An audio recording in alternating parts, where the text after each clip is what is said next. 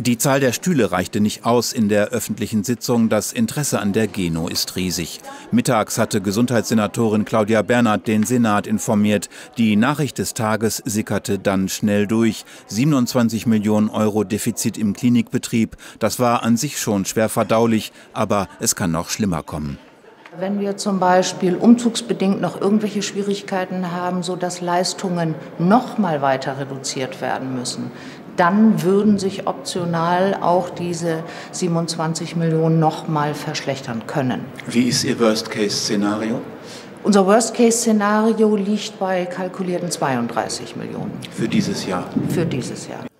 Immer wieder die Geno. Noch mehr Risiko und so viele Fragen. Wie ist das möglich, wollen die Deputierten wissen, dass das wirtschaftliche Risiko im Bremer Krankenhauskonzern so unkalkulierbar scheint? Ein Erklärungsversuch. Es zeigt sich, dass wir eben in diesem Jahr mit weiteren zunehmenden Bettensperrungen und auch personalbedingten Ausfällen äh, im OP haben rechnen müssen. Da gibt es einen Hochlauf in den ersten neun Monaten und wir, wir haben das jetzt aufs Jahresende hochkalkuliert und haben daher bedauerlicherweise, und glauben Sie mir, das ist uns auch unendlich äh, unangenehm, äh, die Prognose noch mal verschlechtern müssen. Die Deputation tagt im Klinikum Mitte, das größte Geno-Krankenhaus.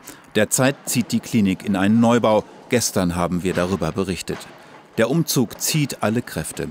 Und in dieser Situation hageln die schlechten wirtschaftlichen Nachrichten in den Krankenhausalltag.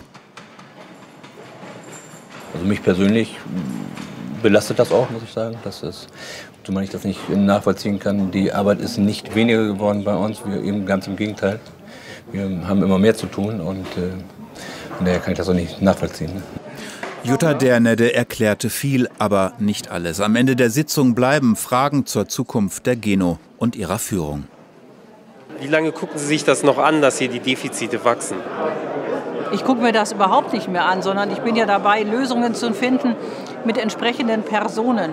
Und da bin ich der Meinung, dass die Verfahren bisher nicht ausreichen und dass auch nicht die richtigen Personen in richtigen Zusammensetzungen im Grunde genommen darüber nachdenken. Bisher hat das Gesundheitsressort nicht bewiesen, dass Bremen Krankenhaus kann. Ich stelle mir manchmal die Frage, ob nicht das Finanzressort hier besser agieren würde. Die Geno braucht definitiv einen Sanierer von außen und zwar im Bereich der operativen Geschäftsführung. Nicht jemand, der berät, sondern jemand, der durchgreift. Trotz unterschiedlichster Gewichtungen also waren sich die Deputierten auch einig. Bremen braucht dringend eine Gesamtidee zur Zukunft seiner Krankenhauslandschaft.